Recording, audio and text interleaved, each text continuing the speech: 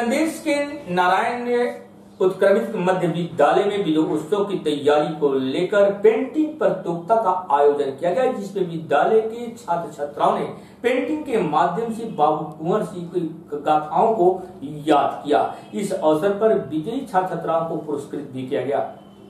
आप लोगों को आज हम बताने जा रहे हैं कि शौचालय बनवाने से क्या क्या फ़ायदे हैं। ठीक है? हम लोग सदियों से ये परंपरा चली आ रही है कि घर से हम लोग लोटा उठा करके बाहर जाते हैं। समय बदल रहा है। हर चीज़ परिवर्तन हो रहा है। उसमें ये सबसे गंदी आदत है कि हम लोग लोटा उठा करके घर से बाहर जाते हैं, शौच करने के लिए।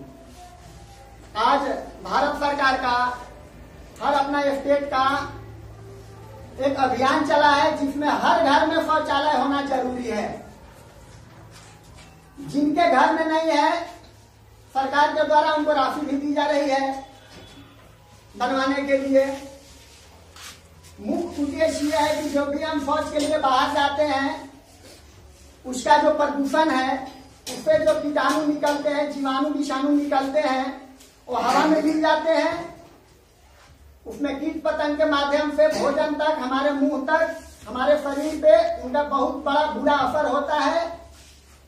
तो मुझे ये प्रयास करना है, आप लोग घर जाएँगे और अपने अपने माता पिता से ये कहेंगे, पापा, मम्मी, बाबूजी, माई, अब हम घर से बाहर शौच करने नहीं जाएँगे। क्या कहेंगे? आप लोग घर में कहेंगे कि अब हम घर से बाहर नहीं जाएँगे। शौच, शौचालय आप लोग घर में बनवाइए। हमारी भी इज़्ज़त प्रतिष्ठा है। हमने बहुत बेइज्जती झेल ली। ठीक है? और आप लोग मम्मी पापा से ये बात ज़रूर बोलेंगे, जिनके घर में नहीं है, वो जिद करेंगे। हम आपके साथ हैं। पूरा तंत्र आपके साथ है। ठीक है? क्योंकि बाहर जब हम शौच के लिए जाते हैं खुले में बैठते हैं उस पर मक्खियाँ बैठती हैं वो मक्खियाँ हमारे भोजन पे बैठ जाती हैं। बच्चे की नहीं बैठती है। उसके पैर में पे उसके पैर में कितना कीटाणु रहता होगा मक्खी के? जब हम लोग रोड रास्ते से गुजरते हैं धूल मिट्टी में मिल करके वो मेरे पैरों पे आते हैं शरीर पे आ जाते हैं घर में जाते हैं बेड बिस्तर पे जाते हैं तो जितना प्रदूषण है जितना उससे नुकसान हो सकता है वो उसको कहा जाते हैं? बेड बिस्तर और खाने तक। यानी उसको हम अपने भोजन में सम्मिलित कर लेते हैं ठीक है?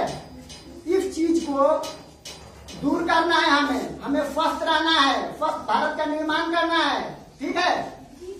तो आप लोग घर पे जाएँगे और अपने अपने मम्मी पापा से बाबूजी माई से ये ज़रूर बोलेंगे कि मम्मी पूरा आ, पूरा विश्व में एक यह अभियान चल रहा है पूरे देश का अभियान है पूरे स्टेट का अभियान है पूरे पंचायत का अभियान है जिसमें सभी कर्मी पूरा तंत्र लगा हुआ है, उसके लिए पैसे भी मिल रहे हैं, आप लोग अभी तक क्यों नहीं बनवाए हैं? और हर हाल में आप शौचालय बनवाइए, वरना हम अब जिद करेंगे घर से बाहर शौच के लिए नहीं जाएँगे। ठीक है, आप लोग अपने कर